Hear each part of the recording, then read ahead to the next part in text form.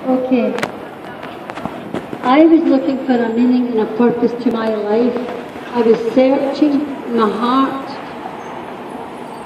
for quite a number of years. I went to the Sunday school when I was young. My mum and dad were not Christians. Um, my mum and dad would fight and argue. I was quite, I had a childhood. Um, I wandered through life and then I entered my teenage years where I was um, promiscuous, shall we say, and uh, looking for love.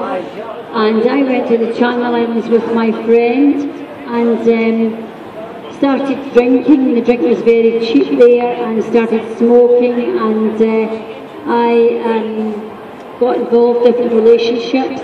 Uh, came back from there and nearly had a nervous breakdown. Could have been an alcoholic, but God was with me all these years looking back because I think I did give him my heart when I was at the Sunday school when I was nine.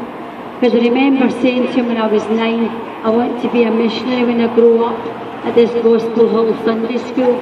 Anyway, what happened was when I was 33, I went to Dumfries to stay and uh, I met the Lord in Dumfries. I got a great conversion because um, I had started to go into spiritualism and Buddhism, and uh, then that was really going down a bad road. Spiritualism is not good.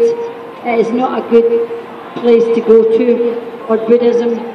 Um, so I met born again Christians, and they had three and four kids. I had one child at the time, pulling my hair out with one child and they had three and four kids, and I thought, how can they cope with all these ways?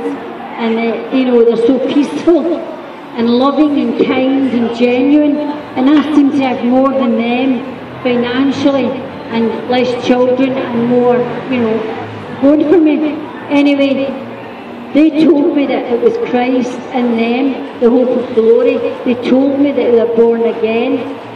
And I went to a little community centre in Dumfries and when I walked into that community centre with one of these women, I met Jesus because I had the audible words coming home, coming in, ringing in my ears and in my heart, coming home.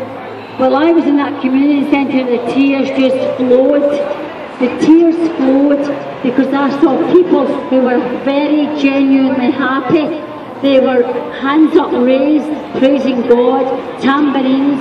They were just like so shining for Jesus. Well, I was in tears. My whole life came before me. And then they said to me at the end of the meeting, would you like to become a Christian? I said, well, I am a Christian. They said, have you got Jesus in your heart? I said, no, but I'm still a Christian. I'm a good person. Well, do you know that you're going to hell when you die if you don't have Jesus in your heart? And I said, oh, well, I want to go to heaven when I die. He says, well, the only way you'll go to heaven when you die is if you've got Jesus in your heart.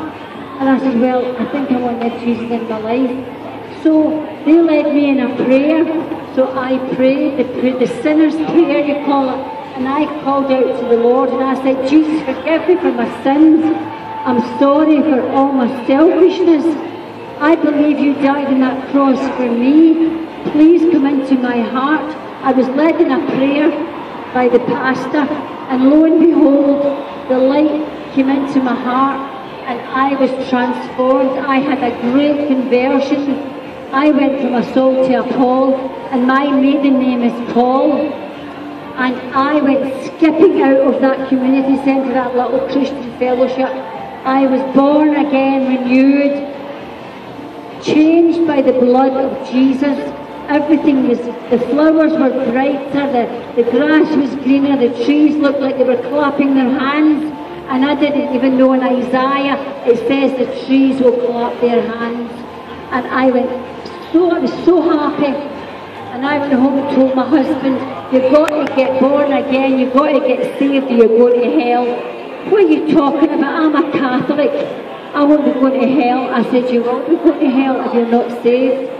And he gave his heart to Jesus six months later.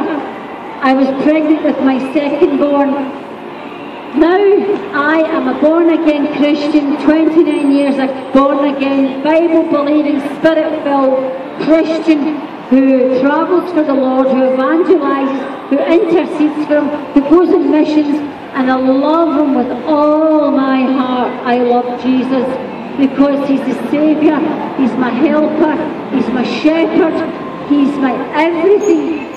And if you turn to the Lord, He will save you from your sin and set you on the right track and give you a good life if you turn to the Lord. He's waiting for you. He's waiting for you. Turn to Jesus, please, before it's too late.